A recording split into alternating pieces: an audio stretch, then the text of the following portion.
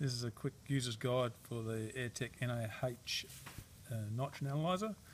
To turn it on, press the button. Initially it'll read the nitrogen percentage in the air. Um, initially you need to calibrate it, so press and hold the button on the front for three seconds. It'll do a countdown, which will calibrate it to 79.1, which is the nitrogen percentage in the air.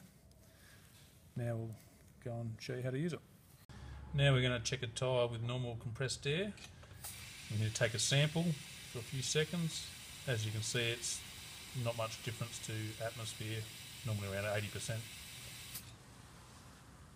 Now we're going to do a sample of the uh, air inside the tyre once it's been purged with uh, Airtec nitrogen trolley.